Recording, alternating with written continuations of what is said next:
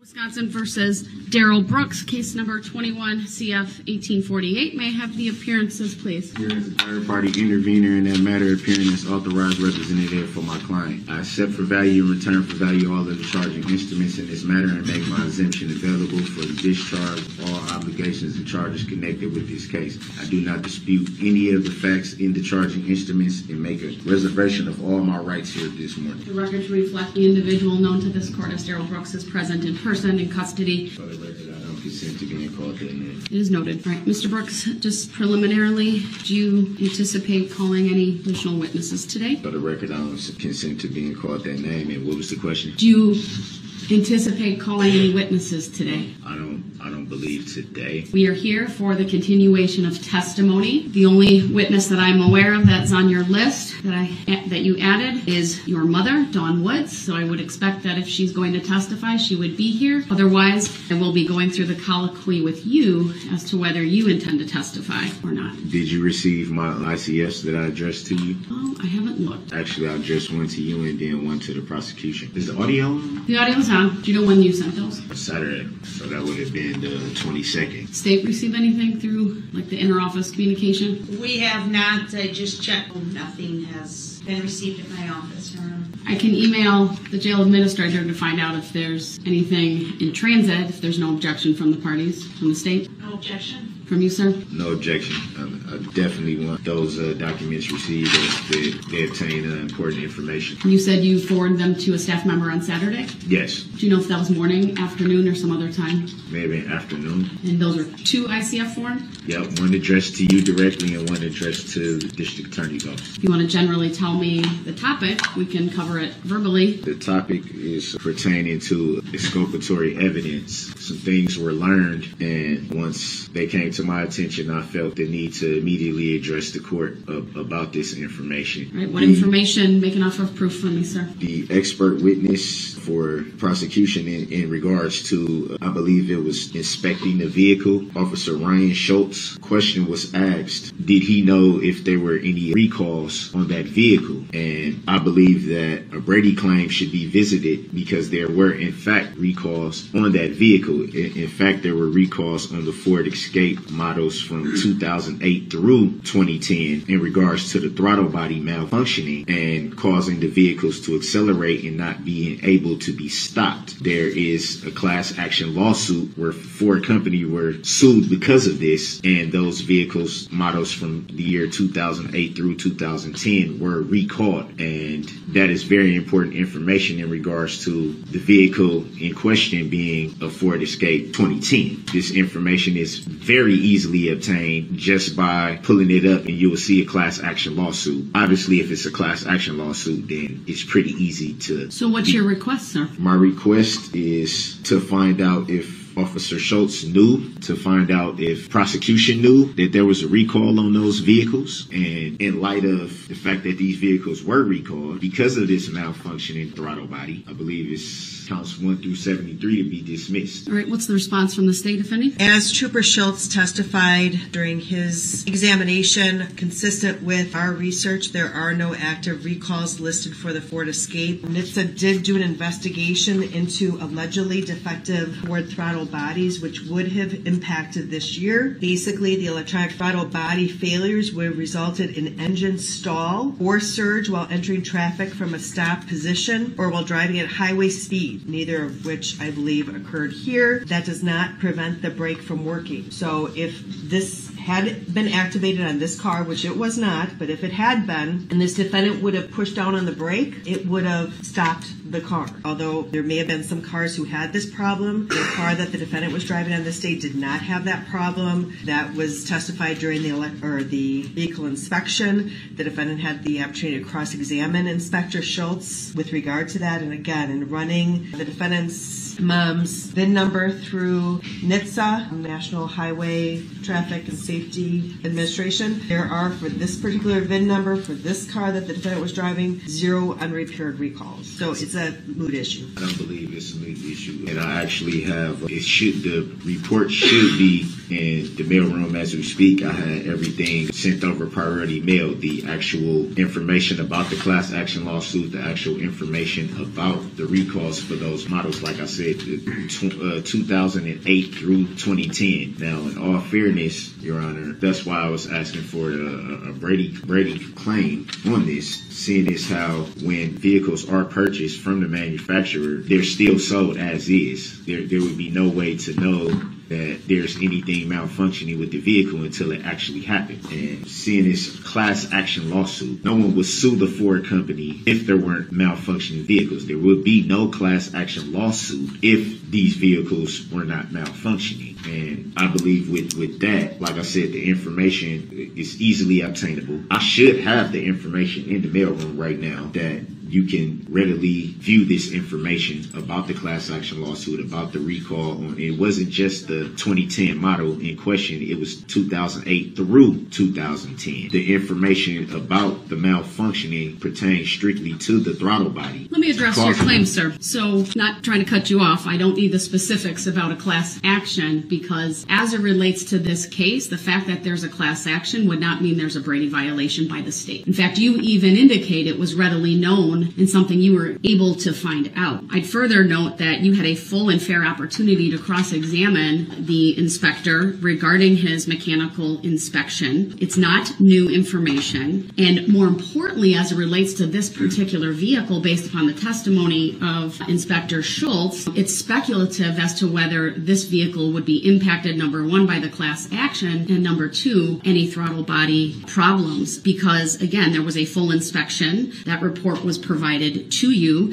I am aware that the ICF, I did receive an email. It's one page with what you said. It's, I have to turn my head. I gotta figure out how to flip it. So give me a second. Just for the record, Your Honor. Hold on, let me finish my record, okay? Um, so I'm going to turn because it's the only way I can read. It says your ICF says the state's expert witness who did the inspection on the vehicle in this incident needs to be recalled no later than Wednesday. I just learned of some information that is extremely vital. So I, I understand the information that you're providing me, but again, you had a full and fair opportunity to cross-examine this witness. This information was apparently well known. I'd also note the vehicle's registered to your mother, and from my understanding of recalls, I think what is common knowledge is that a registered owner would receive information regarding the recalls and what to do, and presumably she would have provided that information to anyone operating that vehicle or taking care of it. We have none of that information before us by way of fact or even an offer of proof that even she received that information and did nothing with it, or whether anyone else who operated that did anything with it or not. The bottom line is there is absolutely no Brady violation by the state. This is not the type of information they would have been required to turn over. And from my understanding and review of Exhibit 83, what's important to this case is that the mechanical inspection specifically looked at that issue nonetheless and found that as to this particular vehicle, there were no issues with that that would have impacted the mechanical function during the incident in question. I'll accept the state's offer of proof as to what would have been the issues based upon the information provided. And again, without anything further from you by way of your offer of proof, I can't make a finding, number one, that there's a Brady violation, and number two, that the information you seek to cross-examine him on would have any impact whatsoever. So I'll deny the request to dismiss the case, and I'll deny the request to recall this witness. Uh, Honor. on. Let, hold on. Let me have the state just make their statement. I'll give you the last word on it. Go ahead. The Inspector Schultz's mechanical inspection report was provided to the defense on April 29, 2022. I noted that when the defendant was cross-examining Inspector Schultz, he did have the report in front of him and it was questioning, asking questions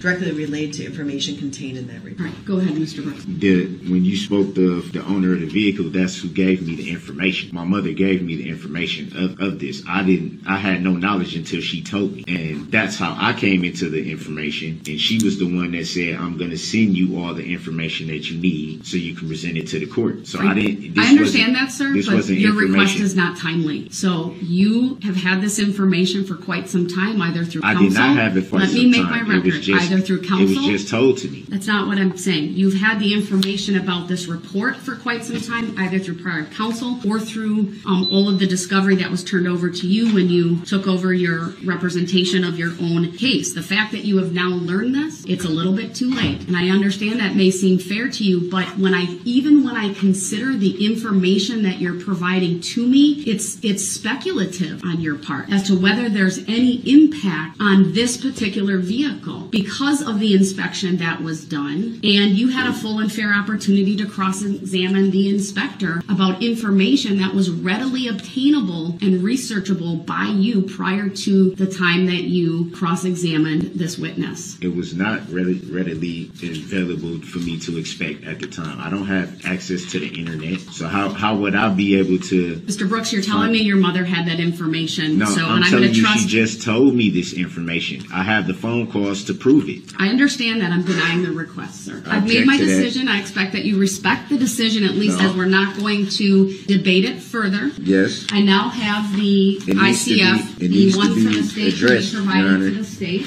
Madam Needs to be I just gave addressed. that to you. All right, so, I Mr. Brooks, in respectfully light of that, object. I respectfully object, Your Honor, and request a legal reconsideration of your ruling, Your Honor. um, they're de- it's denied. The request for reconsideration is denied. There's no legal basis for me to do I that at this point. respectfully reject that ruling and take exception to that ruling, Your Honor. Mr. Brooks, we need to keep going. For the record, may I request a legal or factual basis for your ruling, Your Honor? I provided an oral ruling today. The record stands, sir. For the record, may I respectfully request a written judicial finding of facts and conclusion of law on this issue? Your request is denied. For the record, may I respectfully move for an interlocutory declaratory appeal of this matter? I wouldn't be the one you would make that request to, sir. So I can't For the record, may I answer that move yes to stay no. these proceedings until the instant matter is adjudicated by a court of competent jurisdiction? That request is denied. Based on what law or fact, Your Honor? The request is denied. Based on what law or fact, What, Your Honor? any other requests, sir? I'd like to move on. Based on what law? There's no Or legal fact. basis that you've stated for me to do that, sir. There has, it has been, Your Honor. The request is denied. The request is not a proper motion. It's, there's no legal support for the motion. There's no factual support for the motion, so it's denied. For the record, it appears that this court is acting in contempt of the law, Your Honor. Can you show me how or where this court is following the law of respect, respecting this matter? That's a very vague statement, sir. There's no legal relief that you're claiming. There's no motion before the court based in law or fact, so this court cannot address that last statement of yours. Your Honor, with all due respect, I would like a motion for finding the fact. Denied. Under what law in fact? I made an oral ruling, sir. There's no requirement I do so in writing. So you're denying a legal, you're denying, denying a motion for finding the fact. I am. So how do I know what you're doing is legal, Your Honor? All right, Mr. Brooks, we're going to move forward. At this time, I want to, How do I know that this this is legal, Your Honor? Can you show me that it's legal?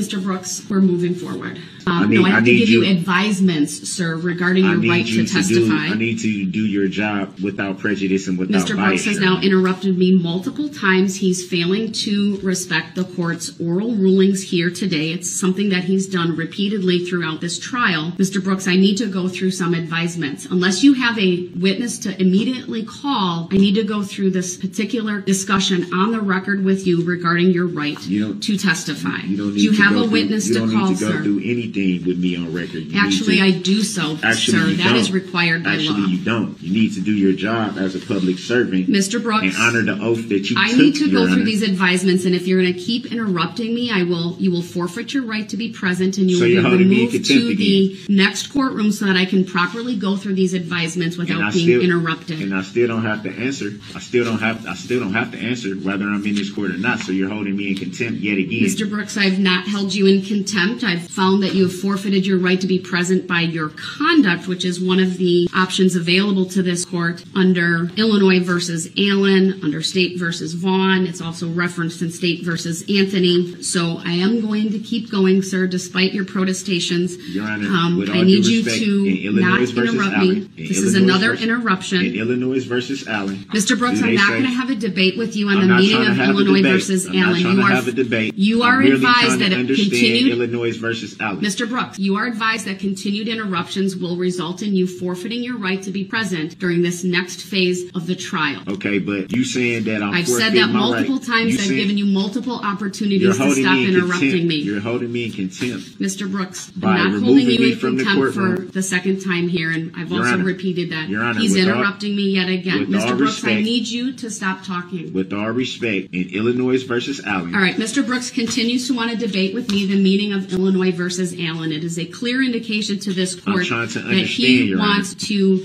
disrupt these proceedings, even That's in a mild manner tone That's of not voice. true. I'm- I've I'm reminded him to repeatedly understand, Your regarding Honor, the standards because of it and doesn't- civility, and Illinois one of the doesn't. bedrocks is that Illinois he not versus interrupt. Allen does not state. All right, I'm going to that- remove him to the next courtroom so that I can go through It does proper not state- advisements with him without being interrupted. does We'll not clear state the courtroom that and you we'll can be resume present from once he cameras. is over there. It, Again, I'll it make doesn't the state that appropriate you can be findings when present he is from there. cameras, or that you could be, Yes, we're off the record. or that you until, could be. uh, Pre- he's in the okay, other so courtroom. I'll you're be making a stepping off. tacit agreement. Madam Clerk, may I please get verification that the audio and video are working in the neighboring courtroom? All right, thank you. I do have verification. There are headphones on the table in front of Mr. Brooks should he choose to wear them. I see he's reading from a book at the moment. At some point today, I'll certainly invite him back over when I get through these advisements. Mr. Brooks, you have been muted. I will make that, put that on the record as well. I will unmute though and ask Mr. Brooks because you did not answer the question previously. Other than you potentially testifying on your behalf,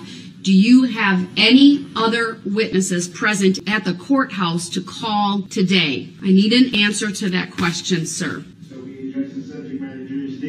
We haven't addressed when I was just over there, or since I've been over here?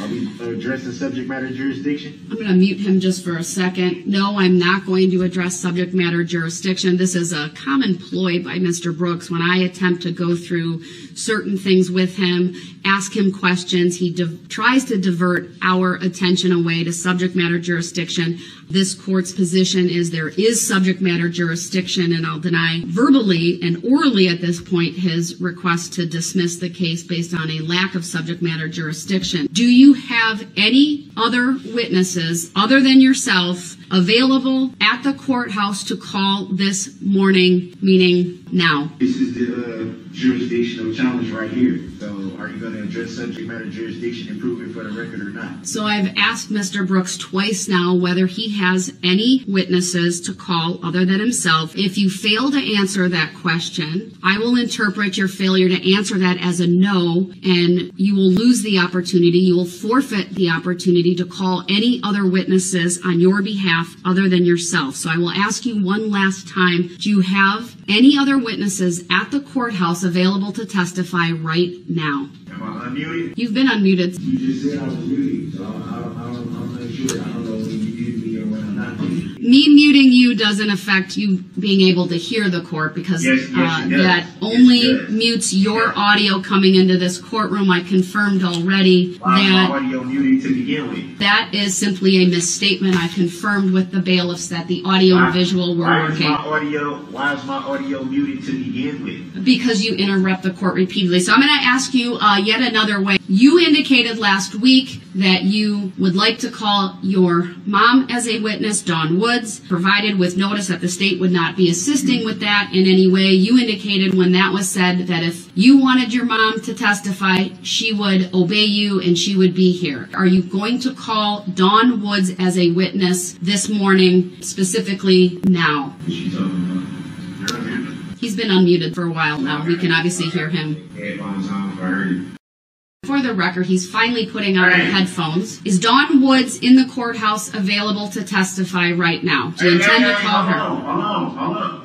Mr. Brooks only puts on the headphones when he's in the other courtroom. He does not put them on when he's in here. The audio and the visual work just in fine in that courtroom- courtroom. When I'm, His- when, I'm in the, when I'm in the actual courtroom, I can hear it. I don't need to be muted. Mr. Brooks's statements that the audio doesn't work when I mute him is simply false. I I didn't say confirmed nothing about the audio not working, so you need to stop lying on the record. I'm not lying on the record, sir. I've You are lying on the record. All right, he is getting. I'm going to mute him once again. He certainly does not seem to want to answer any of the questions this court has. I warned him that if he did not answer that question, he would forfeit his right to call additional witnesses, other than perhaps himself. I'll find that he has forfeited his right to present and call any additional witnesses based upon his conduct. I would like to go through a number of advisements with Mr. Brooks regarding his right to testify. I will unmute him for that. Mr. Burke, you're unmuted. He's unmuted. Mr. Brooks, I would like to go through with you your right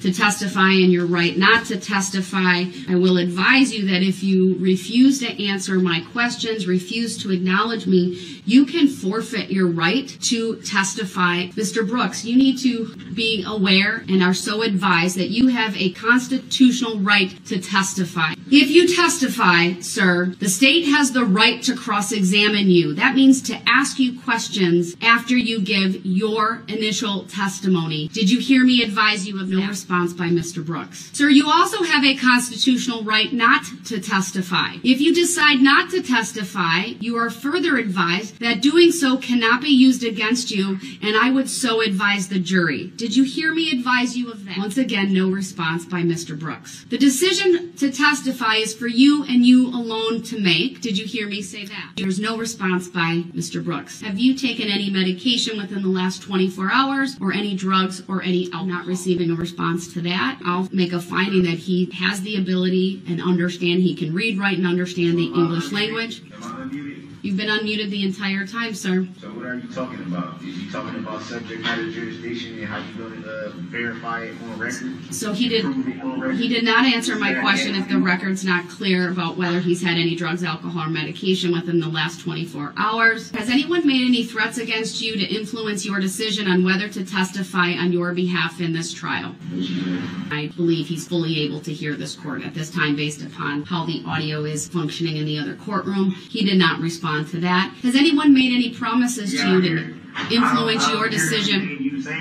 So if you can hear me, I don't hear everything you're saying, and you know I don't hear everything you're saying. So cut the crap. Um, Mr. Brooks has interrupted with very dis- disrespectful words at this moment. I believe that he is feigning his inability to hear and that he's done so throughout this case. There's absolutely no indication. He puts the headphones on when he wants. He takes them off when he wants to. While in this courtroom, he hasn't had them on. He's only used them while in the other courtroom. But again, I've confirmed multiple times that the audio is loud and clear. Um, and his statements that he can't hear, his statements that when I mute his audio, that it mutes his audio are simply, So Mr. Brooks, have you made Am I still am, I still unmuted? you are, sir. And I'll make a So- record that per the so you lieutenant over in the other courtroom, the volume is two to three times louder than it is in this courtroom. You need to stop making false records saying that I said I can't hear you at all. I said I have trouble hearing you when I'm over here. That's what I said. So I would appreciate if you would make the record clear and correct. Clearly, he heard me say that for him to make that distinguishing Yeah, I'm statement. sitting, I'm sitting right So- here. Don't you see me looking all up to the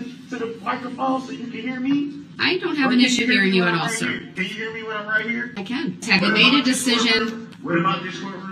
Have you made a decision to testify in this case? Now, have you made a decision to tell I will ask you again, sir.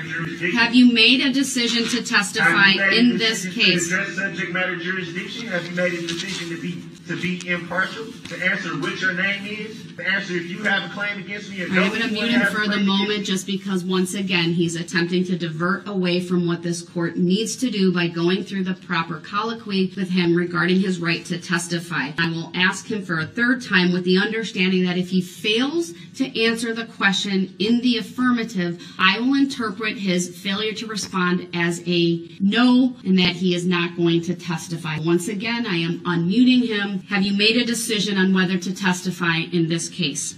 There's no response by Mr. Brooks. I will ask it yet another way. Do you want to testify on your behalf in this Am I case? Am unmuted? Yes, you have been. Sir, do you want to, How long have I? How long have I been unmuted? Did you just sir, do you want to testify in this case? You muting me when I had the headphones on just a minute ago. You just said you was muting. So when have I become unmuted? Or had, or did you even mute me in the first place? I'm asking you one last time. Do you want to, nothing because you I haven't heard nothing that you asked. So how you gonna ask me something and then take and then just answer for me? do you want to You can't testify? All right, I'm You going to answer answer. I'm going to You move him again. Again, it's this, it is very clear to this court that he uses the statement that I can't, that he can't hear as a means to delay. It's a distraction. It's very evident that he hears this court. This court as I indicated earlier, is tasked with the duty to ensure that there is efficient and effective presentation of relevant and probative evidence in this case. This court is attempting to go through the needed colloquy with Mr. Brooks, and he at all times during this colloquy has refused to answer simple questions. But I must establish these ground rules that he must answer these questions um, in order for this court to make the appropriate findings. Without him providing answers, um, this court is left with no choice but to find that he is forfeiting his right to testify on his own behalf. The simple requirement that he answer questions is required, frankly, due to the defendant's prior conduct throughout this trial. His repeated defiance, his repeated outbursts, his repeated failure to follow simple rules of courtesy and decorum, his repeated interruptions of this court, and the, this court having to repeatedly remove him to the neighboring courtroom and making findings that he has forfeited his right to be present. This court will find that he has forfeited his right to testify. I've now made a much more full record of what is at stake, and I will give Mr. Brooks an opportunity again to go through the colloquy with the court regarding his right to testify. I am unmuting him and will attempt to go through this procedure once again. So, Mr. Brooks, you are unmuted. You have been for about a minute. I want to go through the questions again. Are you aware that you have a constitutional right to testify? Uh, Mr. Brooks, are you aware that you have the constitutional right to testify? Are you aware that you're practicing law from the bench? Mr. Brooks, do you understand and are aware that you have a constitutional right not to testify? No, I don't understand. No, I don't understand. Are you aware that you have a constitutional right not to I don't testify? understand. I don't understand, and I'm not aware. So why are you asking me questions? All right, I'll, I'll do this another way, sir. Sir, you are advised that you have a constitutional right to testify and that if you choose to testify, that you would be subject to cross-examination by the state. Did you hear me say I, that? I didn't hear you say anything. I don't understand what you're asking.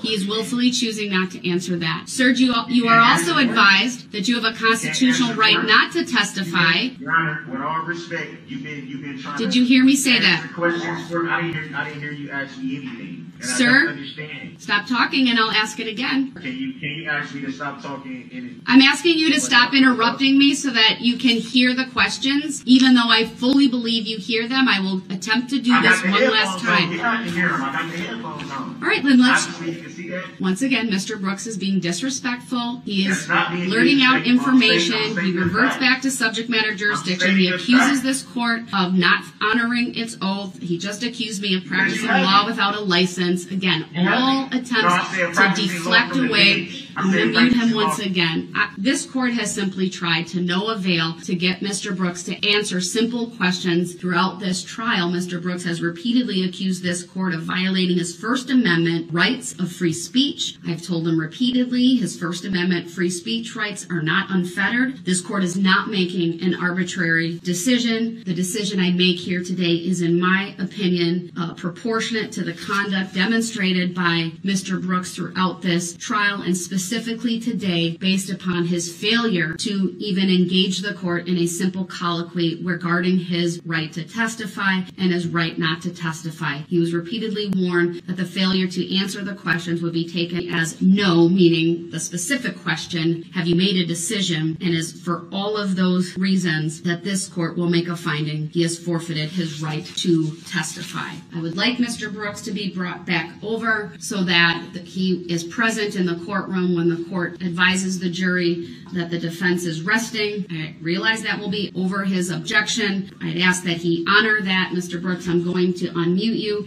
If you can pledge to this court that you will honor that ruling and that you won't challenge that directly in the presence of the jury, I will bring you back over for that. Are you willing to make that pledge, sir? Make what pledge? I'm not making no pledge. Sir, you, You're trying. You, You're trying to. co- You're trying to. co- You asked me a question. Now I can't answer. yeah, no, go ahead, answer. You're trying to coerce me into violating my right to remain silent. How can how can you how can you coerce me into my right to remain silent? So you're not going to protect my constitutional right? Because I didn't answer nothing that you was trying to ask me before when I had the headphones on, and you can't make a decision for me. You can't do that. You're violating my constitutional right. If you'd like to testify, then you need to simply go through the colloquy with this court, which I've given you three opportunities to do, and you have decided not to. When I know you can't tell me what I decided to do.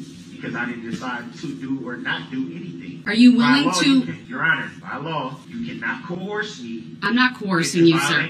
Well, you, you're making a decision for me based on something that I did not say myself. Last Friday. I specifically directed your attention to State versus Anthony. I, I discussed very briefly at the end of the day on Friday the case law that is relevant on Right. this topic, including State versus Anthony, Rock versus remember how much was Arkansas, Friday? and Chambers versus Mississippi to specifically put you on notice. Did you did you recall what was going on Friday? Mr. Brooks, a I'm going to mute him again. I'm I'm not going to have a debate. I've made a finding. I've given him yet another opportunity if he's willing to go through the colloquy with the court. He wants to challenge me instead and saying he doesn't consent. His lack of consent to this entire procedure is noted for the record. I'm going to leave him in the other courtroom. The jury's going to be brought out and he will remain muted and I will simply advise them as I have throughout this case that he's appearing from another courtroom and that his appearance from the other courtroom should not in any way be held against him. But if at any point in time he wants to come back over, he needs to advise the bailiffs. Let's have the jury brought out. Thank you everyone. Please be seated. I will declare the evidentiary phase of this trial concluded. I'm going to excuse the jury for the remainder of the day so that the parties and I go through all of the jury instructions. I'll rise for the jury. Thank you everyone. We are in recess. On the record, appearances are as they were before. The record should reflect that Mr. Brooks continues to appear from the other courtroom. I would like to make a record regarding the audio and visual from the other courtroom. Deputy Kibler, if you could take the witness stand. Were you present in courtroom 20 this morning with Mr. Brooks? I was. Did you have any difficulty hearing the court? I did not. Mr. Brooks, you are unmuted. Do you have any questions for this deputy? You may step down. All right, then I'm going to have Zach Tremaine also take the witness stand. Were you in courtroom 20 this morning following Mr. Brooks being taken to that courtroom? Only temporarily. Can you tell me what we're looking at? It is our AV control panel, so you push buttons on it and actions happen into the courtroom, AV related. At that time of the photo, my phone is registering 67.3 decibels. Mr. Brooks, any questions for this witness? Know anything about the hearing when someone has hearing loss in, in, in any of their ears? I do not. So it'd be fair to say you don't know if I can hear everything good from this courtroom. I can tell you what the readout of the room is. Beyond that, I don't know. I can't see what photo that everybody else is in there seeing that was supposedly supposed to be that exhibit. I have not viewed that, so I don't know what's being referred to when you refer to the picture. I can have that up momentarily. Fair enough. Give me a moment. For the moment, we'll print it in black and white so you have it until I can get the zoom up. All right, now the court is sharing screen and the image is being displayed. Yeah, I see it. Any questions regarding that then? Uh, my question was pretty much already answered. You don't know if me myself can hear everything good in the courtroom, correct? I do not. Okay. Question. Now, I need to get a copy of the jury instructions. They were quite lengthy. I, the record should reflect that Mr. Brooks was provided with a written copy. It's 107 pages. I accept the value, return the value of document. That's if I'm not muted. You're not muted.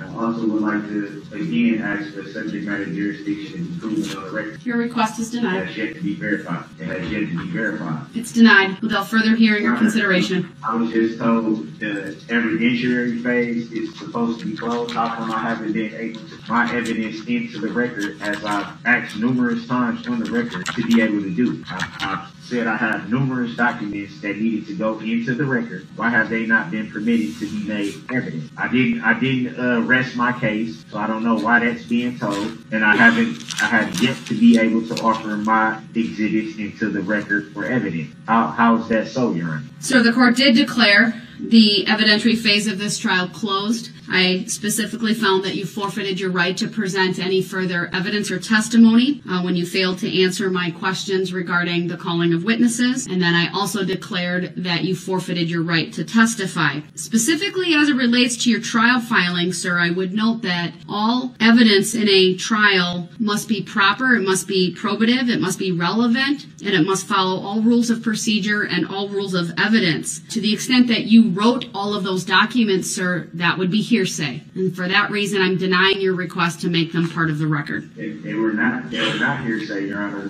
I did what you told me to do. You told me, since I was representing myself pro per, that I had to write everything out and present them to the court. So that's not what I said. You're misquoting me, but in any event, I'm No, denying your you request. Um, I So you're saying that I have, so you're saying that I have no right to present evidence and to have exhibits as the state's been able to do. Mr. Brooks, I'm not going to have a debate about this now. I have, you- I gotta mute you once again. right? So, Mr. Brooks, I have muted you because I declared the evidentiary phase of this trial closed. It is not true that I advised him that any filing would become evidence. That is simply false. I told him if he wanted to present motions should be written down and should be, should be based in law and fact and request specific relief. I'm well aware that previously he has referenced he would like his filings made exhibits. I've reviewed those filings. There's nothing relevant, nothing probative, or the information contained therein is hearsay. And he clearly just took the entire packet of jury instructions and put them,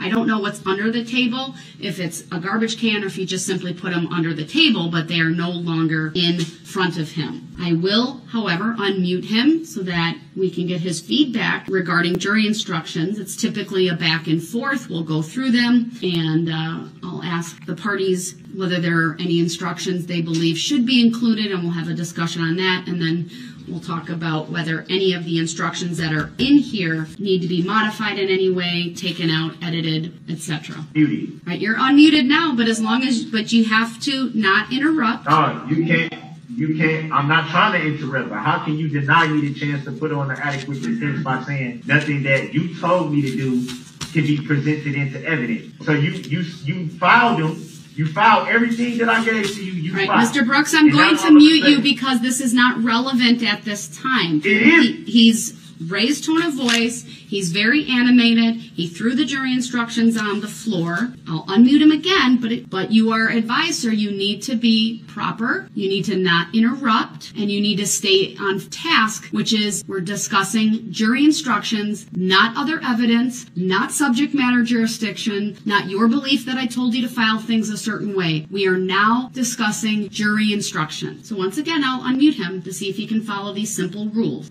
We, you need to tell me why I can't present evidence. How can you deny me the fact? How can you deny me my right to present evidence? All right, I will mute him once again because he wants to continue. And again, I understand he's upset. I understand that. He has himself to blame. Mr. Brooks, do you acknowledge receipt? I believe you did by acknowledging it previously, but do you acknowledge receipt of the draft of the final jury instructions? I ain't, I didn't acknowledge nothing, and I don't, and I don't acknowledge anything now. I have not received anything. I would ask the bailiff to I pick up the documents from the floor and put them in front of him And we're, I'm not, I don't, I'm not presenting it to nothing I don't give my consent to. You can't deny me the right to put on the defense. How can you tell me when I'm, I done stated I'm going to read it once times- again because, again, I understand he's upset. If the bailiff could confirm, well, he put him on top, he put him on the floor. That's his right. I'll advise Mr. Brooks without a specific waiver of his right to be present, even if it's from the remote courtroom, he's going to remain in that courtroom. Mr. Brooks, I know you are still muted by me, but I know the audio is working, but I would ask you to specifically advise if there are any specific jury instructions that you are asking be read to the jury. Let's go through the list and then we'll get the defendant's responses if he would like to give us those. on page 65 of 107, which is the 70, the preliminary instruction, defendant proceeding pro se. There's the standard paragraph, which is the first paragraph listed under this instruction, and then there's an additional paragraph. We are going to object to that additional paragraph. I think it highlights the defendant's bad behavior, so I'd ask that that be taken out.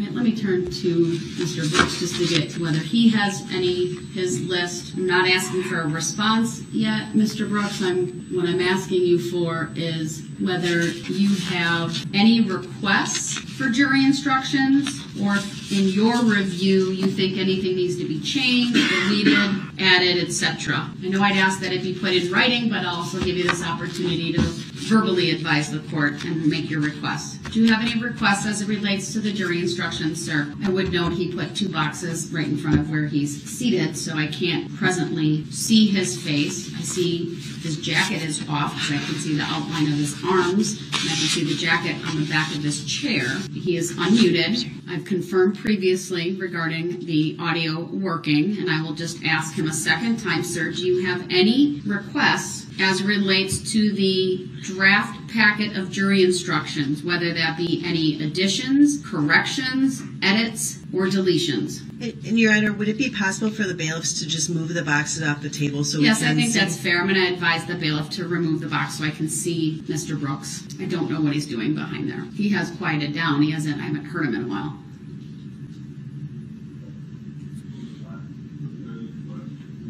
If you could move the second one because it can interfere with the microphone as well. And the third. one.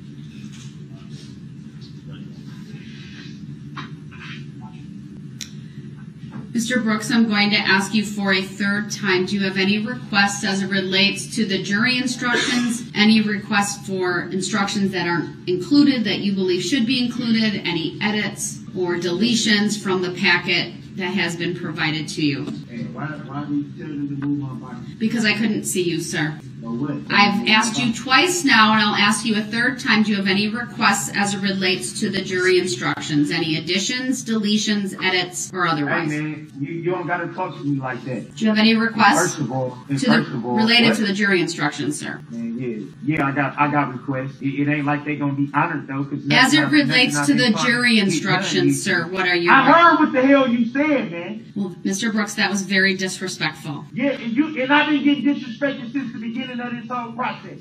So welcome to the club. Mr. Brooks, do you have any I'm, requests? I'm, tired- of my race getting trampled on here too. I'm tired of it too. Do you have any requests as it relates to the jury instructions? Why I'm frustrated, though. Can't nobody understand why I'm frustrated. How you gonna sit up there and make decisions based on what you think I said when I didn't get consent for you to do any such thing? Sir, I understand you may be upset, and I, I really do, No, but I've made my understand nothing. determinations. You don't understand nothing. You don't understand anything, Your Honor. You don't. Because We are, you- I'm going to mute him again because he's not answering the questions that I'm very clearly asking him. And I've given him five opportunities. Mr. Brooks, do you have any requests as it relates to the jury instructions? I'll unmute you for that answer. I can't hear everything you're saying. Mr. Brooks, I know he, the audio's turned up. I believe you can hear me. You've chosen not to put the headphones on. That's your choice. My final question to you, do you have any requests as it relates to the jury instructions? I just told you, am I muted? Am I muted? No.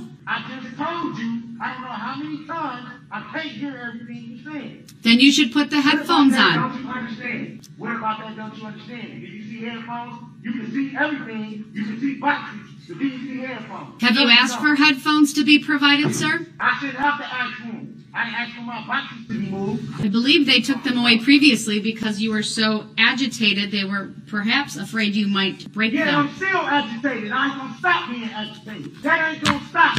Sit up here and do everything you're doing, and think you gonna and think God don't see what you're doing. You ought to be ashamed of yourself. Mr. Brooks, do you have any requests as it relates to the jury Yeah, instructions? I, I, I can hear what you're saying. I can hear what you're saying. You just told me you didn't. So which one is Yeah, I got the headphones on. You can't see that? What are your requests as it Yeah. relates? What are your requests as it relates to the jury instructions, sir? Man, don't, don't try to come with this whole little any uh, sir. Now it's all this sir and all this. I'm gonna get I'm gonna get where I'm going. Trying to put on this little act like you so worried about what's going on with me. You don't give a damn. Never did. Mr. Brooks, you're being disrespectful again. You've been you've been being disrespectful. You've been being disrespectful. I need to know what your position is regarding the jury instructions, and I need to know it now. What you mean? Who you who you, talk, who you talking to? I'm talking to you. I need to know whether you have any requests as it relates to the jury instructions, sir. Yeah, first of all, first of all, first of all, why am I charged with two bail jumping when I was already charged in Milwaukee for the same bail jumping? That's double jeopardy. That's not double jeopardy. Your objection is noted. It's overruled. It, it is, it is double jeopardy. How you gonna charge me with the same charge that I'm already charged with? You can't do that. The Fifth Amendment says, the Fifth Amendment says that you can't place somebody in jeopardy of life and limb twice. I'm already charged with the same count in Milwaukee. This is for the same case. It's the same bail jumping charge. So how am I charged with that here? Sir, I'm not going to provide a legal explanation other than to say I've reviewed that. Your objection is noted, but the jury will be instructed regarding the bail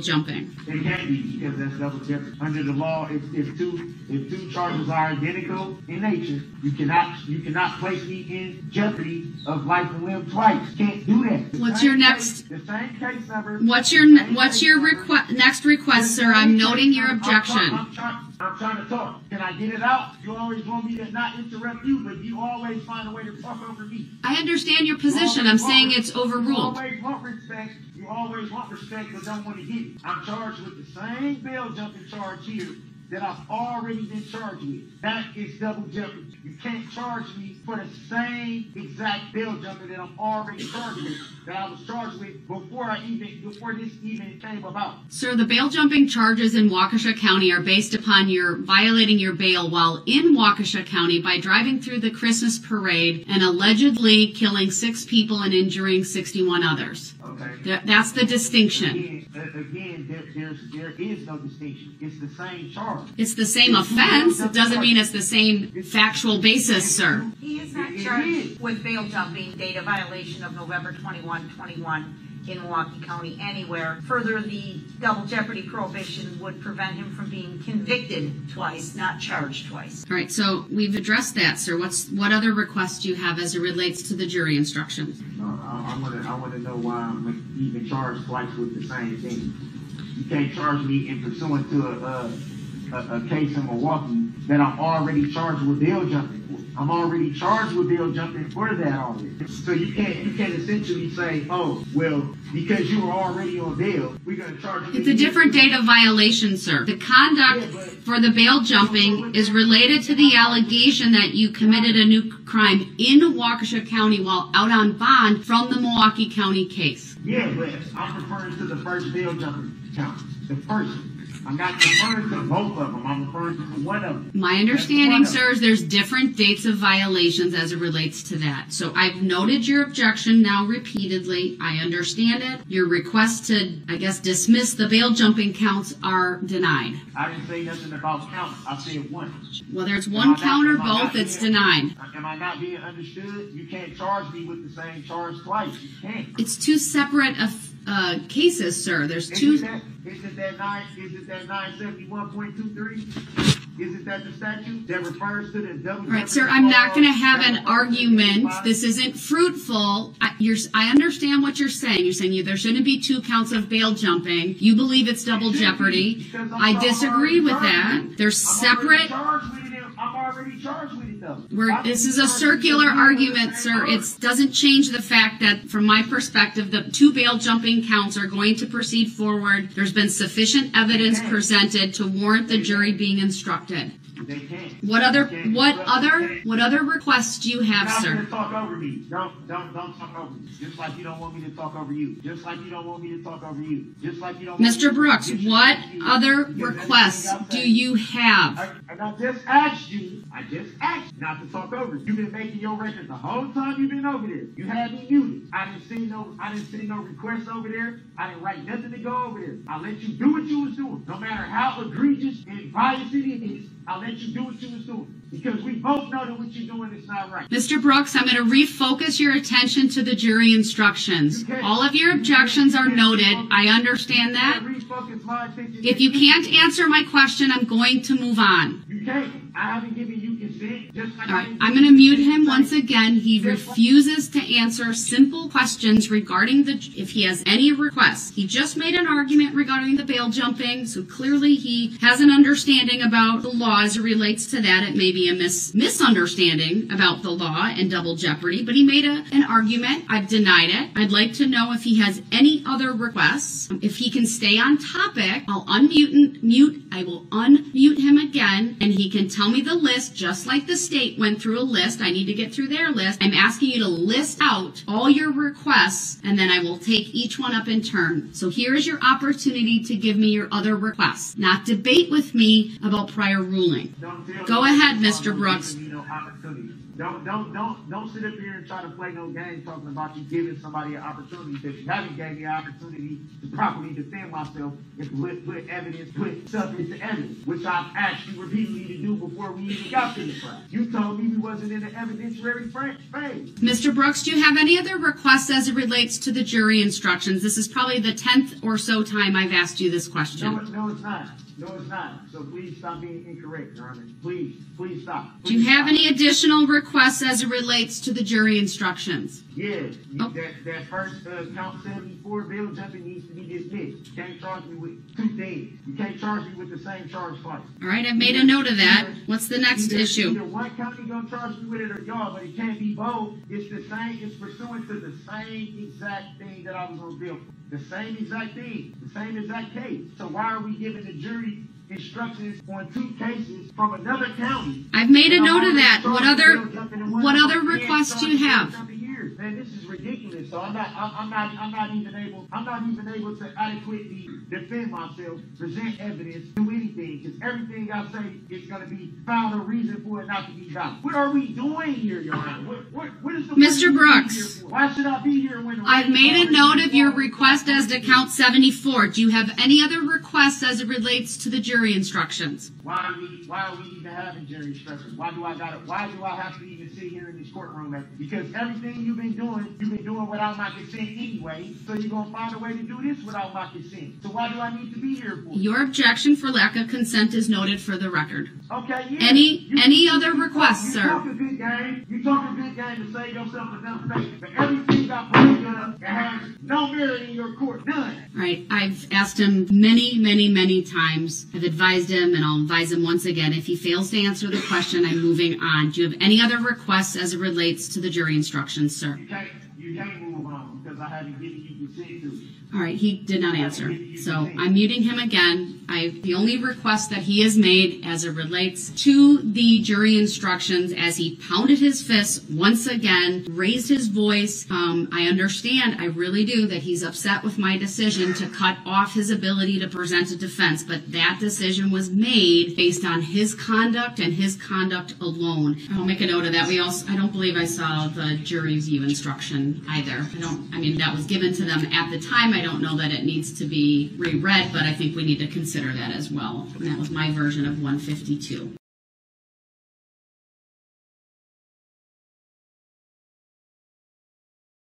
So as it relates to this, the state is asking that I simply, I had previously advised the jury with another paragraph that I was contemplating including, even if I took out that big paragraph that just said, at times Mr. Brooks has appeared from another courtroom. This must not influence your verdict in any manner. What's the state's position on including that, but taking out the paragraph you request to be taken out? That's fine. Mr. Brooks, do you have any position on that? Which is, uh, so jury instruction 70 has to do with the defendant proceeding pro se. The pattern instruction would be basically the first paragraph. I need the bailiffs to move the boxes away from his face. I need to be able to see him. He can keep them on the table, but they need to be moved off to the side. And if he does it one more time, then I will instruct the bailiffs to take the boxes away. Those are trial prep materials. There's something in those materials related to jury instructions, he's, he should take those out now. Otherwise, they need to be moved away from the microphones and away from, from blocking his face.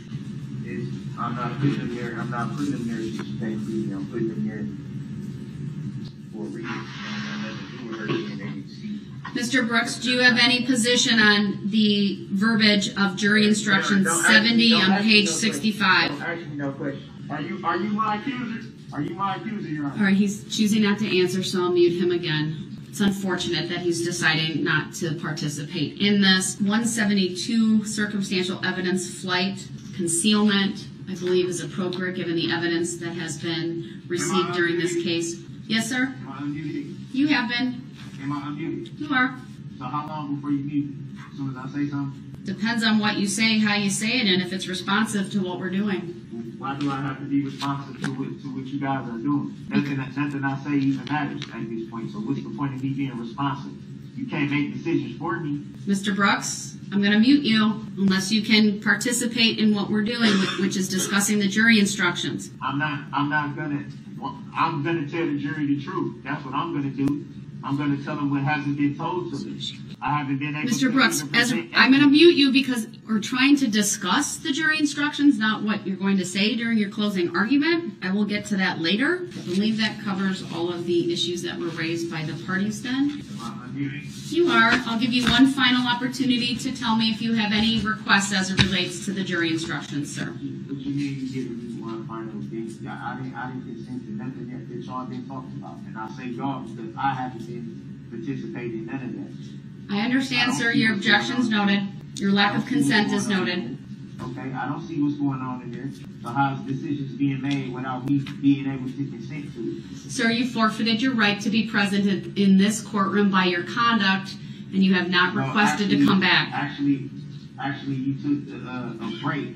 So let's, let's make sure the record is correct. You took a ten minute break, I did. at which time, at which time I was brought back into this courtroom. I was advised you wanted to stay, sir. Okay, and you you you been you've been uh forcing me to come over here from the get go. Why couldn't you force me to come back over here where I'm supposed to be at?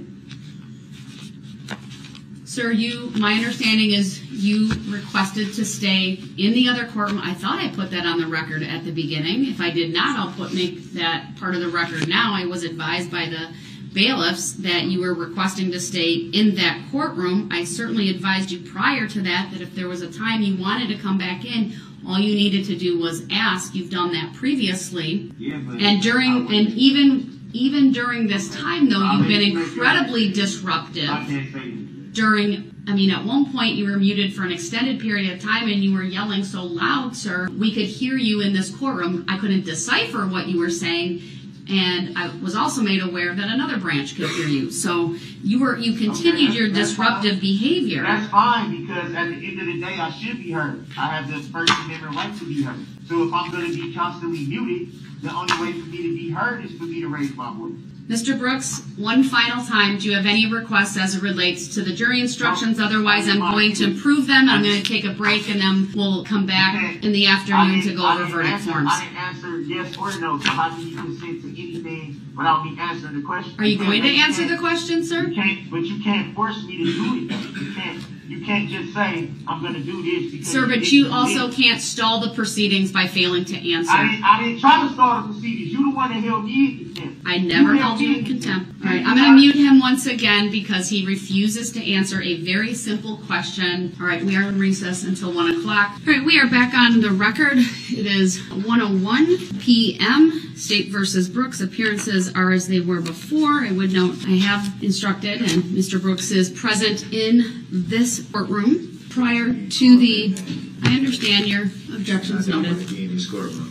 If you would like to go back to the other courtroom, sir, you may, but that is a choice that you would be making. I am not requiring you. I'm not forcing you at this time. So you're not holding me in contempt. I am not requiring you or forcing you to go into the other courtroom. It is a new part of the day.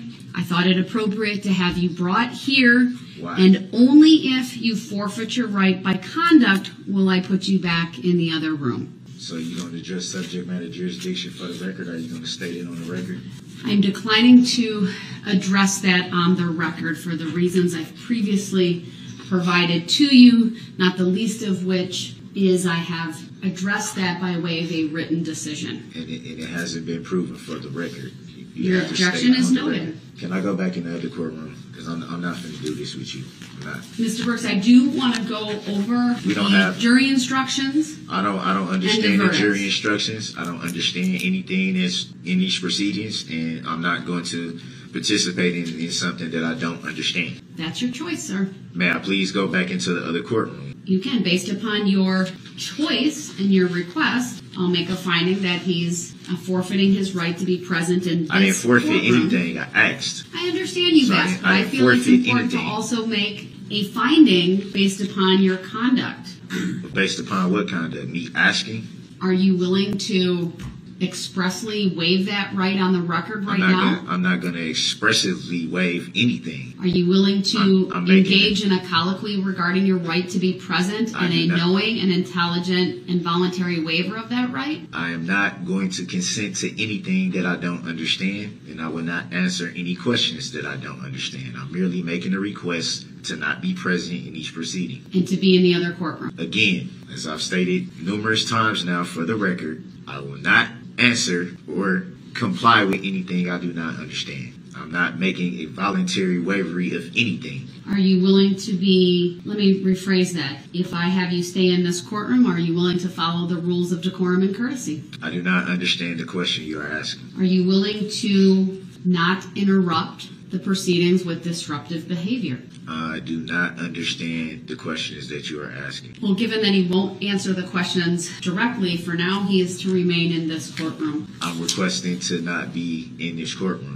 But you won't go through, you won't answer my questions regarding that, sir. I did. I, I told you I don't understand. That's not answering the question, sir. You asked me a question, I answered it. I don't understand. How can I ask? How can I answer something that I do not understand, Your Honor? Let me start with the jury instruction. There start with one I would start like with subject to. matter jurisdiction? No, I've declined that already, sir. I'm not going to address Under what law? further. Under what lawful law? Sir, please do not interrupt me again with the topic of subject matter jurisdiction, or you run the risk of forfeiting your right to be present in this courtroom. Then let me go in the other courtroom. Then Are you willing to engage in a discussion about that? I need to make I an just- appropriate record. I just told you that I don't understand the questions you're asking. What do you want me to do? I can't answer something I don't understand. I believe you're choosing not to answer them. You can sir. believe what you want to believe. I, I believe that you hiding stuff from the jury. I believe you want you're, you haven't been impartial or fair. You haven't let me even enter anything into evidence, which is my right to do so. Your but it doesn't matter what we believe, sir. Your Honor. I'm I'm merely stating a request to not be present for these proceedings. I cannot answer Sir, the questions it- you are asking me because I don't me understand them. You understand your right to be present in the courtroom. Are you telling me you I don't understand that anything. right? I don't. I do. Nope. I don't understand. Nope. Then you're going to stay here for now. And under what lawful law? You can't for you can't force me to stay somewhere that I'm making a request not to. You can't you can't make me understand.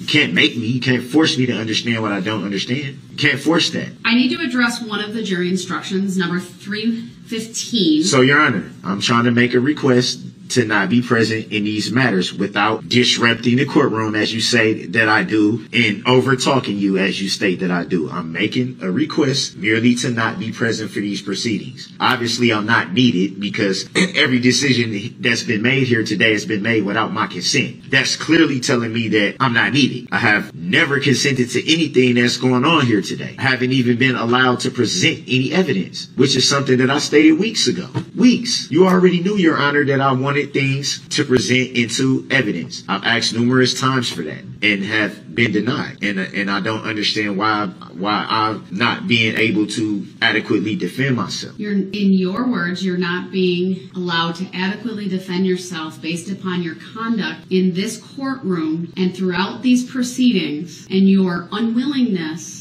to follow the simple rules of decorum, courtesy, procedure, rules of evidence. You refused to answer a variety of questions this morning when this court went through the, or attempted to go through the colloquy with you regarding your right to testify and your right not to testify.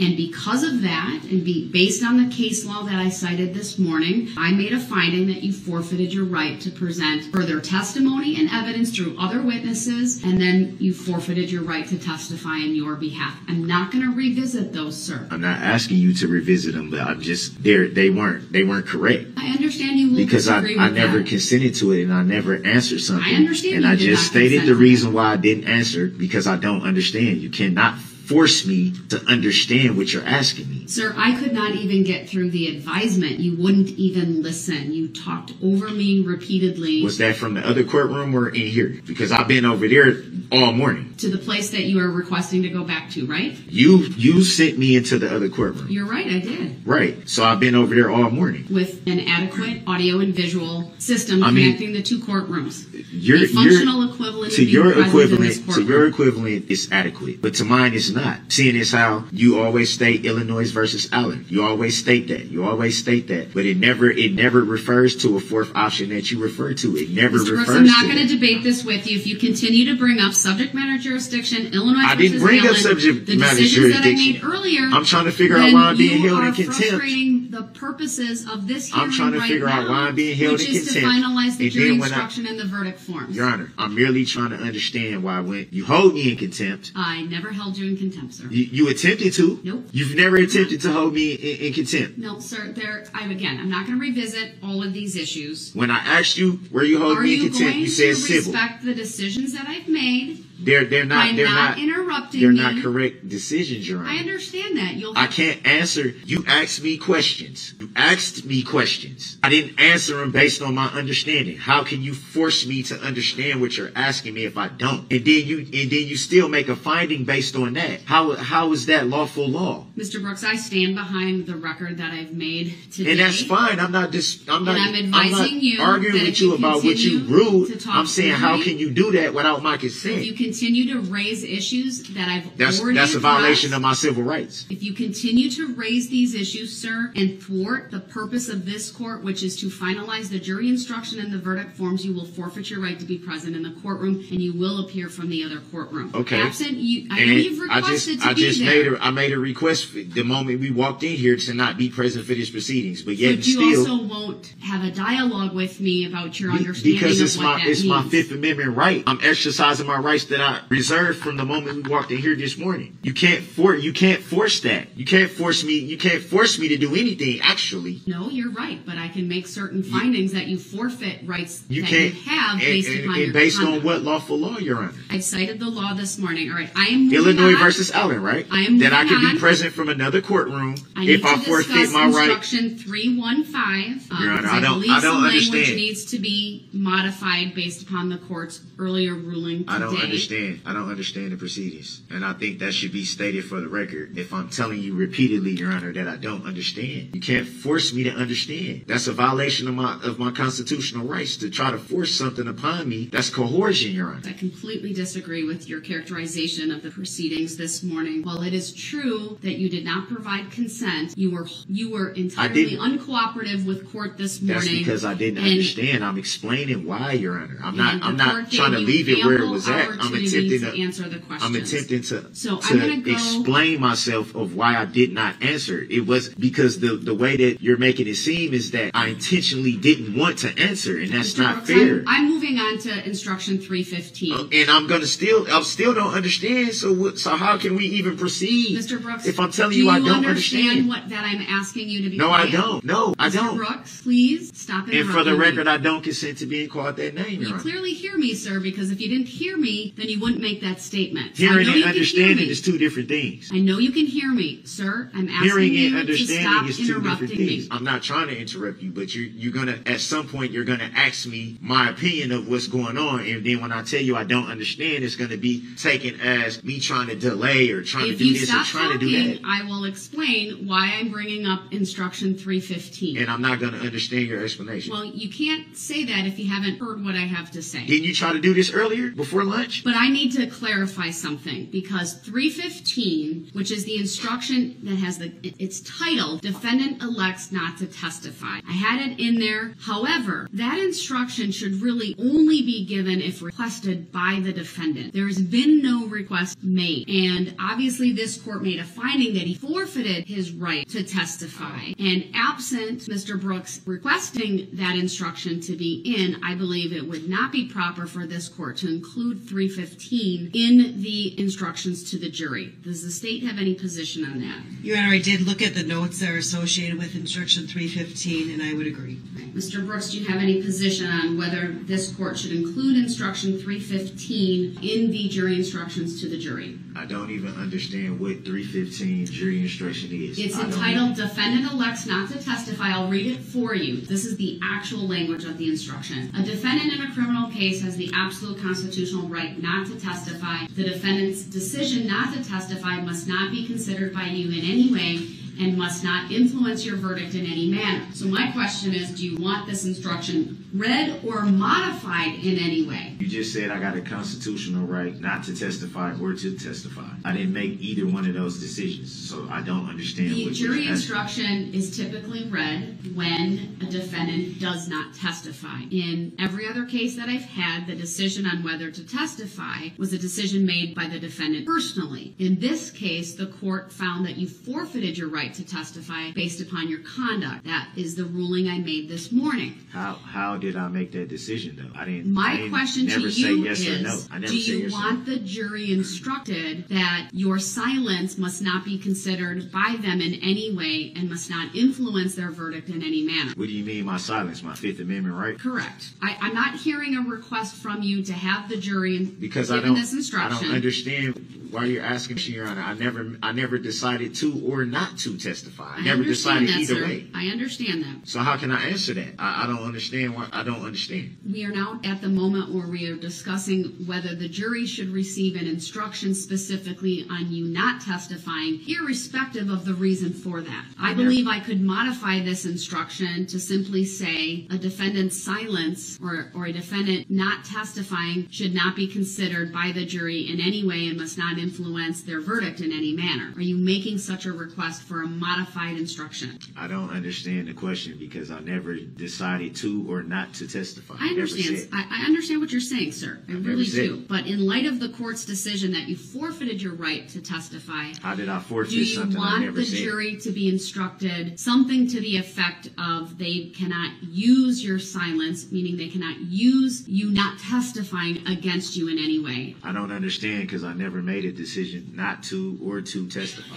I'll ask you one more time, and if you do not answer with a yes or no, I will take your answer of not answering as you are not making a request for a modified instruction. How can you do that? Do you want this court, sir, to instruct the jury in any way regarding you not testifying in this case? I don't understand the question. All right, then based upon there has not been an express request made by Mr. Brooks to give either 315 as it's in the standard or pattern jury instruction or a modification as this court has suggested, 315 is to be taken out of the jury instructions. How are, the, how are all these decisions being made without me understanding? Then I have looked over the verdict forms, and other than really what I would describe as some consistency in how phrases, uh, whether there's all caps, not all caps, but uh, All what we call the sentence Like the name that was capitalization for the charges. For example, I want to be consistent with how I spell out first degree intentional homicide or first degree recklessly endangering safety. There was just some, Um, sometimes it was capitalized, sometimes it wasn't. So we're looking through all of that to be consistent. I want to make sure the word information is capitalized since that's the charging document, things of that nature. It is my practice, and you should be aware, Mr. Brooks, that I always put the not guilty verdicts on top when I hand all the verdict forms to the jury. And by that I mean it's by charge. So they're collated, if you will. So the not guilty followed by the guilty for counts 1 through 76. You said it's collated. What do that mean? So I put the gui- not guilty, then the guilty for count one, followed by the not guilty and the guilty for count two, and so on and so forth, all the way through the remainder of the counts that are alleged in this case, which in this case uh, total 76. I don't understand.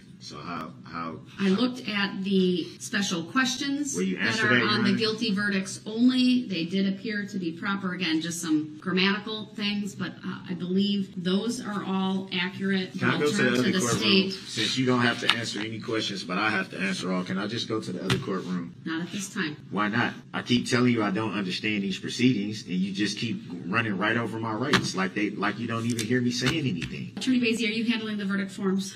Go ahead. Can I go to the other courtroom, please? Are you waiving your right to be present in this corporate? I'm not waiving anything. Then the answer is no. I'm making a request. Then the answer is no. And how's it? So so so what? You gonna you gonna try to force me to interrupt and do all this so you I'm can make the you, record sir. I'd like make it seem like. I forfeited something that I came in here as soon as we got on the record and made a request to not be present for these proceedings. But when I'm making a request to avoid to avoid the drama and all that, Sir, the only one with the drama is you. it's you too. You the big contributor to the whole thing. Mr. Brooks, I have to preside over this case. Yeah, have and you haven't been and you haven't been impartial or fair yet. Mr. Brooks, I have a question to the state. I ask that you not interrupt and It's, it's not about me response. interrupting. It's about me attempting to understand. I've been saying that since we came in here. Mr. Brooks, I You will, can't- I you will can't force me to follows to that. You waived your right to counsel. I didn't waive my right to no counsel. I You gave you the contract. right. I did not. And you won't sit here and, and say that for the record because that is not no, what you have, you are No. incorrect. so we don't have the, do we have the Your- paperwork? Because I believe that I gave you the paperwork back that you, Mr. Brooks, you very I gave it to you altered clearly and did not waive it. have been presenting a nuanced argument regarding That- that the is right to true, Your Honor. counsel That versus true. the right to assistance of counsel. That is not true. That's a pretty sophisticated argument. That's why I believe you fully understand what's I going don't. on in this courtroom. I don't fully I understand. disagree with your I characterization disagree with your of the right to counsel. You know that you accepted You the way that I gave it to the you. entirety- So you shouldn't have did that if you if you had questions of me not understanding. I don't have any questions whatsoever. You definitely sir. do because I'm telling you right now I don't understand and you still won't even acknowledge the fact that I'm saying in open court on the record that I don't understand something. I haven't waived anything. You made decisions today that I didn't consent to, that I explained I did not answer because I didn't understand, which is my right to say that. Right, Mr. Brooks, you It's are also my Fifth interfering With right the to proper be and orderly administration of these proceedings. I understand that you disagree with the decisions that I have made, but you aren't respectful of the decisions. You keep wanting to debate them and argue them. That is not the proper legal recourse at this time. I have asked you if you're willing to waive your right to be present. You indicated you're you're not, Because and yet you continue to You said waive. I'm not waiving anything. then that's why you're here until I make a finding that you, by your conduct, are forfeiting your right to be present. Well, make the finding and kick me out. Make the finding and hold me in contempt, which is what you're waiting to do anyway. That's why that courtroom been set up the way it has for the whole time, because at some point it's anticipated that I will be over there, which is which is not impartial and which is biased. It's judicial misconduct. I stated from the beginning, sir, that the goals of this trial. So you're reading from the paper, or are you reading, from, or are you just citing what Number you know? one, sir, is is during the evidentiary phase of this was to control the presentation of evidence so as to ensure fairness and reliability of the criminal trial process. And I offered That evidence that you didn't allow. developing relevant facts upon which a determination of guilt or innocence can be made. What is sometimes referred to in the case law as the ascertainment of truth.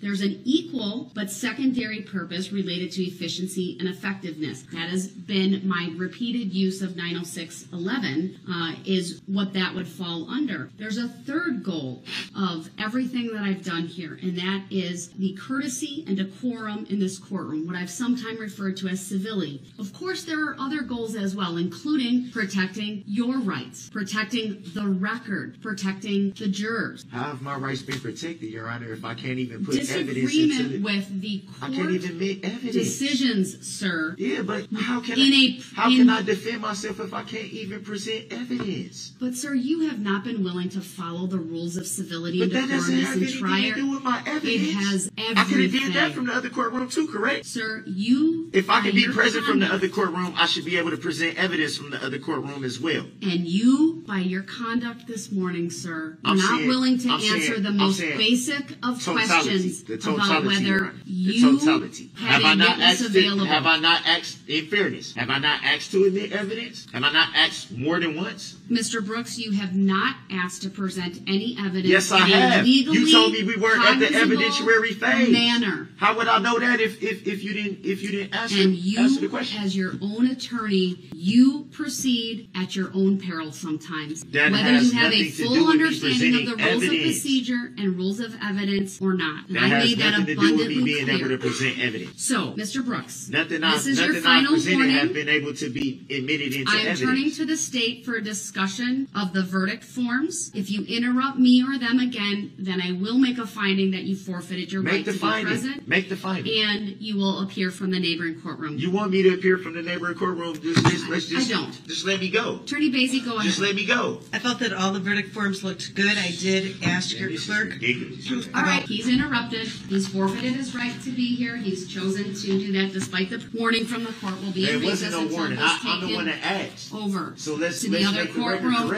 I'm have the the audio we came in here, and Honor. video working appropriately. I asked, I asked when we came in here to be present for the other court. by Zoom because we may have to utilize the share screen in order. We don't have to utilize no share screen because I'm not going to participate in no proceedings that I don't The understand. documents. I told you I don't understand We're a million recess until times. we get the courtroom set up. No, we we don't have to be in recess. I don't agree to it. Mr. Brooks is now appearing from the other courtroom. Do you have any position on the verdict form, sir? I wasn't provided with anything, if I was, I accepted and returned it for value. And since I'm now in another courtroom, are we going to address subject matter jurisdiction? You have yet to prove it for the record. Mr. Brooks, you were provided with the verdict forms. What you did with them, I don't know. Again, I haven't been provided with anything. They were provided to you prior to lunch, the lunch break. I haven't been provided with anything. Am I muted? No, you're not. You haven't been. So I got I got a question about the, the enhancer for use of a, dangerous weapon. How is that being charged? Is that under nine three nine point six three two? It is in the charging document, sir. Um, how is that being charged? From my understanding, that the, the statute reads the increased penalty provided in this section does not apply if possessing, using, or threatening to use a dangerous weapon is an essential element of the crime charge.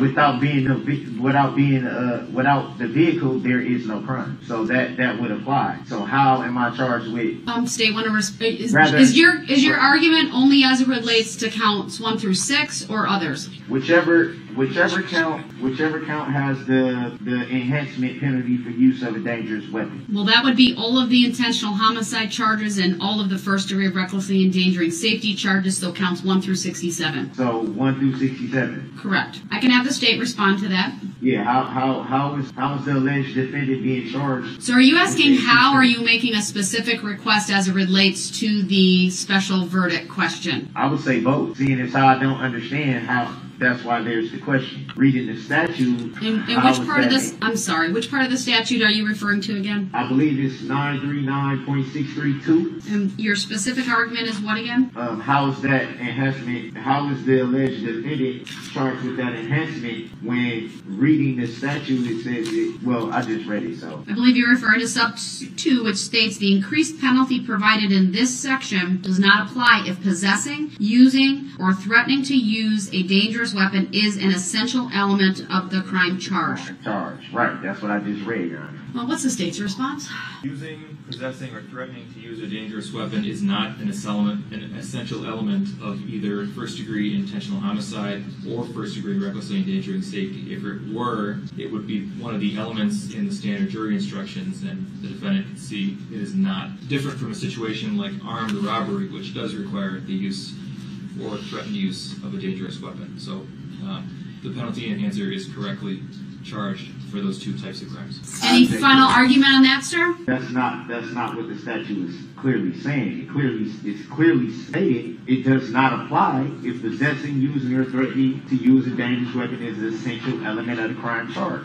If there's no vehicle involved, where is the crime? It has to be an essential essential part of it to even be to even be a crime. The the the alleged defendant is charged with using a vehicle to commit these crimes. If there's no vehicle, where's the crime? So it has to be an essential element of the crime. Otherwise, there's no crime. I think it's the essential element. If if if you read in the statute, it's the essential element. You can't just walk up to some. You can't just walk up to someone and quote unquote uh, run them over. There has to be something used in order for this alleged crime to transpire, and that would essentially mean the quote unquote dangerous weapon. Without the quote unquote dangerous weapon, where's the crime?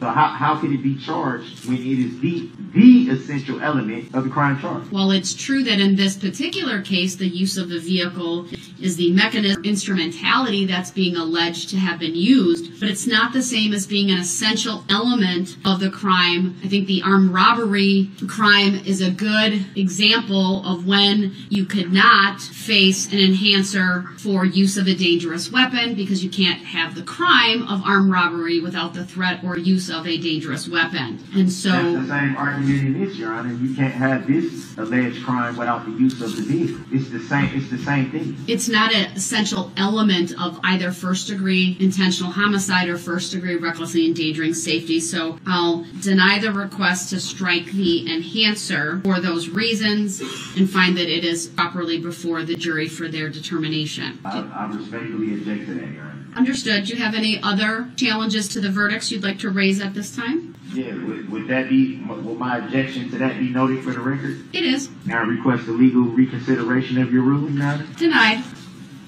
Uh, written finding of fact for your ruling, Your Honor. Denied. Just for the record, it's my understanding that the verdict forms were put in the garbage by Mr. Brooks and they remain in there. That was provided to me by the bailiffs. May, may That I information. respectfully, may I respectfully request a written judicial finding of facts and conclusion of law for, for this issue, Your Honor? You may request it. The request is denied. For the record, may I respectfully move for interlocutory declaratory appeal on this matter? This is not the proper court to grant such relief. For the record, may I move to stay these proceedings until this instant matter is adjudicated by a court of competent jurisdiction Your request is denied. based on what law or fact? Your request is not based in law or fact, sir. I just stated, I just read a statute that it came from. My argument was based on a statute, a Wisconsin statute. The request is noted. Your objection to the court's finding and determination is noted. I decline to issue any type of written decision or stay pending appeal, noting there is no appeal that has been filed. May I let the record show that this court will not allow the accused to adequately defend themselves in this matter. The court's already made its findings regarding the forfeiture of right to testify and the forfeiture of the right to present additional evidence and Which testimony. was not. I'm not going to revisit the same. Which was not consented to. I never stated that I did or did not want to Understand. testify. I understand. So how can that decision be made on my behalf when I didn't say either way? What I stated was I didn't understand the questions being answered. Sir, do you have any other questions or issues regarding the verdict forms? Your Honor, do, are you are you making a judicial determination that you don't have to answer any questions? I'm not answering those questions, sir, other than Are how I've not? already answered them. Is that a judicial determination? Sir, every decision I make is a determination by this court. Is it a judicial determination? Sir, I will ask you once more, do you have any other issues? And I will To raise once more, I with- don't understand the questions that you are asking. Sir, So do you have any other issues to raise with respect to the verdict forms? I do not understand the questions that you are ask-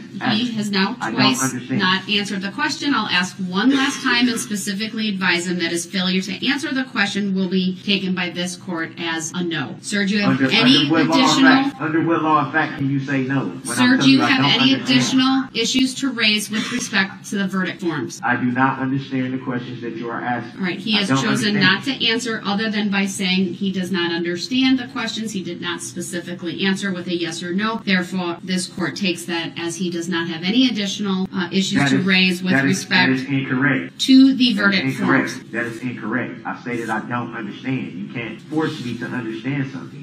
All right, can't. did the state have any It is- other? It is my. It is I'm going to mute him constitutional right. momentarily. Mr. Brooks, I'm muting you because right. I'm moving on to another topic. I understand you disagree. I will unmute. Do you have any additional requests as it relates to the jury instructions? Yeah, I have questions related to all of them because I don't understand any of it. My question was not, do you have questions, but do you have my any answer requests? was, and my answer was, I don't understand. And I've made, I've made a, re, I've made several requests. The requests are not related to the jury instructions, which is the phase of this hearing that this court is attempting to conduct with you and give you the did answer the opportunity to fully participate. Mr. Brooks is choosing not. to answer my questions. You did not. I'm going to mute him momentarily, sir. I will ask you one more time if you have any uh, requests as it relates to the jury instructions. I then will ask you if you approve of the jury instructions. If you do not answer those questions as it relates to the question, do you have any requests as it relates to jury instructions? I'll, I will interpret that as a no. And if you do not specifically answer the question about the jury instructions, I will interpret that as your approval. So first question to you is, do you have any, and you're unmuted, do you have any requests at this point as it relates to the jury instructions? And I just said before, I said I do. I said I don't understand the questions. Of course I have questions if I don't understand. So do you have any That's requests for any additional instructions that are Yeah, not I- included or to remove any that are included? Yeah,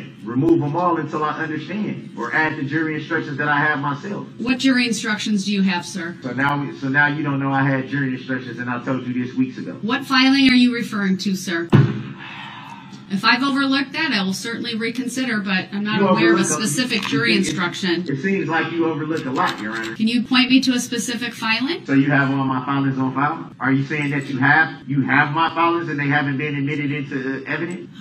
My computer's not working. Oh, now the computer's now. Sir, please direct me to the specific filing that you're referring to that has a request related to jury instructions. You just said you just said you was referring to the filing, right? Did you just say that? That's not what I said. Did you just say what filing are referring to jury instructions? Did you or did you not just say that? I said, do you have a specific filing you can refer the court to that relates to jury instructions? So is your computer working or is it not working? It's being a little temperamental, but I have, I just can't use my search function. So if you can direct me to a filing, that would be great. It would also be great for those filings to be admitted into evidence. Sir, simply filing something with the court does not make it evidence during the evidentiary phase of a trial. There are rules of procedure and rules of evidence that govern that. And you told me to make all my filings in writing. Sir, I gave said if you had a motion, it needed to be put in All those were writing. motions. All those were motions. Sir, what filing are you referring the court to? Look through all my motions. Sir, it's not my job to advocate on your behalf. If you have I something didn't in ask you to advocate particular, my behalf. Sir- I ask you. I asked you to do your job. sir, if you have something, a a specific request, now is the time to make it. Well, how about this? I,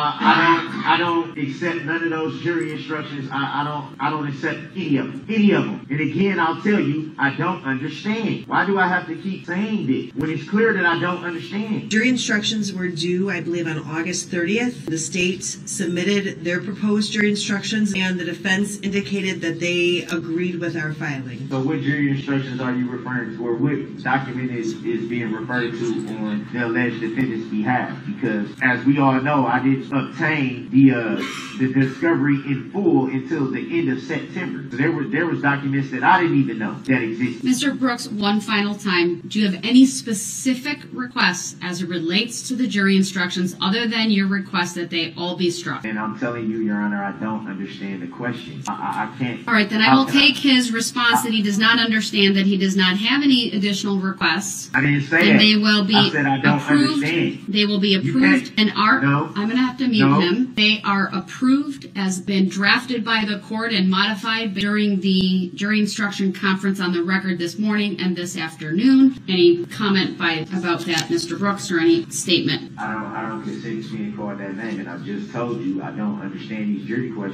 I'm not going to know how, how they allowed to pass just because you feel that they should. When I'm telling you I don't understand them. I would note None that those, his, not one of those jury instructions came from me. Not one. How's that fair? Mr. Brooks, this court gave you the No, draft you of the jury instructions. I'm, I need to mute you because, once again, he's debating about things that I think are very clear on the record. This court provided both the state and Mr. Brooks with a written printout, 107 pages long, Um, of the jury instructions it was considering. For the record, I am approving of the verdicts. I am approving of the jury instructions. And once again, before we break for the day, I will make sure to provide the parties with written printouts of both of the documents as they now stand. Mr. Brooks, do you have any of those final type of questions or issues that you want the court to address? She referring to me. You are unmuted. I am. I just told you I'm not. I'm since since nothing since nothing I say even matters at this point. I'm just going to tell the jury what they need to know. I'm just going to tell them the truth. Mr. Brooks, you are aware that your closing arguments have to be based on law and fact, correct? They're going to be based on whatever I'll base them on. Well, I trust the state will object when appropriate, Well, if gonna be a whole lot of objection then because I'm gonna tell the truth. You, you haven't you haven't allowed you just been making all the decisions for me, even though you know I, I told you repeatedly that I don't understand, and you still make re- decisions based on, on on my behalf without my consent, without me. I'm telling you I don't understand, and you still make a decision determining my life. Are you telling me, sir, that you will refuse to follow the simple rules of decorum, courtesy, It- it it civility, no- the rules of evidence, come- and don't try to come the with rules of procedure? words. Don't try to come with your slick words and don't put words in my mouth. Sir, I am not being slick. I'm trying to You, preserve you've the been, oh, integrity. okay, you've been slick. You've right. been slick. I'm going to mute you, sir, since what you are saying is not productive. It is not courteous. It is disrespectful. I don't care I what need to. I need to go over these. what you think. All right, I'm muting him. I'm contemplating maybe putting a time restriction for both parties. Do you think it would be reasonable to give the parties each an hour total? That would reserve 50, whatever's left from your initial for your any rebuttal. Yes. All right, Mr. Brooks, do you have any position on that? I am unmuting you. I would note he takes the headphones on and off throughout. He doesn't have them on. He's looking at a book. We should stop saying a book. I'm looking at the Bible. Thank you. It's not just a book. It's the book. Can't disagree with you there, sir. yeah. Hmm. How many people actually live by it though? Anyway, Sir, I'm contemplating putting an hour time limit on closing arguments. I ain't doing no closing argument tomorrow. Um, the closing arguments will most likely be tomorrow. Given. I'm not doing it tomorrow. then you'll forfeit your right to give one, sir, because as we have, you can't, you can't force me. You can't force me not. What type, what type of court is this where you can say you're going to force somebody not to be able to give a closing argument? How's that lawful sir, law? if you choose How not to give one, Ah, ah, ah. How's that lawful law? sir, if you choose not Ma'am, to give good, one, right. at, you're not letting me finish, and you're mocking me right now, which is incredibly disrespectful once again. Okay, You didn't even let me get my sentence you out. Always, you always want to make a, uh, a, a incorrect record. Go ahead. Go ahead. Make your incorrect record. Go ahead. I'll, I'll mute him once again because clearly he just wants to be disruptive this afternoon. Mr. Brooks, I'll unmute you, but that is the expectation of the court that closing arguments will be done tomorrow. Um, you can't, you can't rush me to judgment or you can't practice law from the bench and tell me when I can do something and when I can't. Mr. Brooks, I actually can, under all of the rules of procedure, it is my Okay. job to make sure there's effective Okay. and efficient administration of this trial. So, You so are, then, then I'm, I should be allowed to, then if that's the case, then I should be allowed to tell the jury what they need to know, which is the truth. They have the power. They have the power to nullify laws if they don't you are absolutely not allowed to tell the jury that. There's a jury instruction that I will have ready to go if you even attempt to raise the issue of jury nullification, sir. You have absolutely no right to raise that. That is Oh, I clear can, I under the can, law. I can raise, I can raise what I want to raise, and you can't. So you added these jury instructions at the last minute. Then you should have never approved them from the get go because I never approved them. I told you I didn't understand them at all whatsoever, and you still passed. Sir, if you understand jury nullification, you understand jury instructions. It's clear to me Man, I you've don't done your care What homework. you talking about? I don't care what you're talking about. I'm gonna let them know that they can nullify any law they don't agree with, which is my right. It is not your Now, right to do that. Not. Say it's not. It is Show me not where your it's not. right to raise Show jury me- nullification. Show me lawful law then. Show me. All right, I'm going to mute him once again. He's starting to raise his voice. He's starting to hit his hands on the table. It's very clear to this court that uh, it's going to be a challenge tomorrow during his closing arguments. Mr. Brooks, any further topics by you? Am I muted? No, you're unmuted. So again, I don't understand nothing you just said, but um, I don't. How, how can you how can you deprive me of my constitutional rights? How can you trample on my constitutional rights? How? Sir, you can forfeit a number of constitutional rights by Ah. misconduct on your part. Not if I reserve my rights. You can't you can't let me reserve my rights and then take them from you. Sir, I direct your attention to Chambers versus Mississippi, Rock versus hear none of that Arkansas, State versus Anthony, Illinois versus Allen. rights? Did they reserve their rights? The Did any Beneby of decision. There, there is a host of case law, sir. Did they reserve their rights? All right, sir, you are simply mistaken on that. So I'm muting him once again. He's not giving me any other issues uh, to address. Go ahead, you're unmuted. And since we're all making records to make you look bad, I think we should say for the record that one of the rights I have is to demand that the court places in the evidence any unrevealed contract, statute, laws, rules, or information being used against me under the Sixth Amendment. So how come how come that hasn't been placed in the evidence? What law are you referring to, sir? I'm, I'm referring to my rights under the Sixth Amendment. And, and what My case law says you have a right to do exactly what you just said you have a right to do? The Constitution, Amendment Six. Sir, that is very general, your statement. It's vague. There's nothing So we gonna go specific you have What you want? referenced. You want, you want paragraph two or something like that? Is that what you want? No, that's not what I'm saying, sir. You're making So- general arguments Also- that aren't based in fact Yeah. and are overgeneralizations of what the law requires as well. I accept for value in return value any documents in this matter. Since, you know, it might be another record of what I'm doing, you know, since it's always a record of what I'm doing. And I also have the right, I also have the right to ask, is this common law or admiralty law because judging by the gold eagle on top of the flag, it, it's some explaining that needs to be done. That is a military symbol. So is this a common law court or admiralty law court? Mr. Brooks, I'm frankly not going to address these nonsense legal theories of yours. I'm muting you. They have been debunked. They are typical sovereign tactics that have no place in our judicial system. We are in recess. I'll see everyone tomorrow morning at 8:30. I'll just direct the bailiffs to wait until we have the verdict forms to give. And if it takes us longer than 30 minutes, we'll make sure they're delivered to him in his jail today.